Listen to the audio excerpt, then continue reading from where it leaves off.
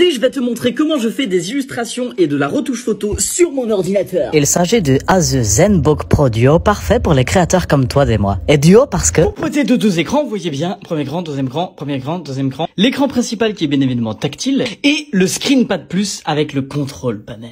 Il y a même un stylet Alors c'est parti pour dessiner En un clic, j'ai tout de suite la configuration que j'ai choisie avec Photoshop et YouTube en simultanément. Une fois qu'on est sur Photoshop, du coup, je viens de dessiner et puis là, on peut tout paramétrer. La taille du pinceau, l'opacité, tout ça. Et hop, c'est parti. Voilà, c'est, ça ressemble à rien, tu vois, mais tu as compris. Hop, le petit bouton annulé. On augmente bien la taille du pinceau parce que moi, j'aime bien quand c'est gras. Et voilà, on fait le petit dessin.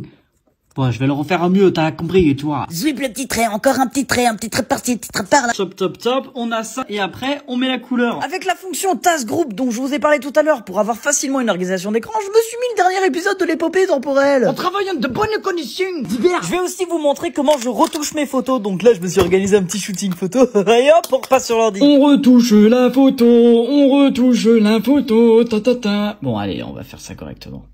Avant, après. Pour conclure, une belle bête pour toi si tu es créatif, parce que du coup, avec ce petit screenpad plus, c'est bien pratique. Et du coup, dites-moi si ce genre de petite vidéo vous plaît, parce que bah, moi, ça me fait super plaisir, étant donné que la marque me laisse faire un petit peu ce que je veux.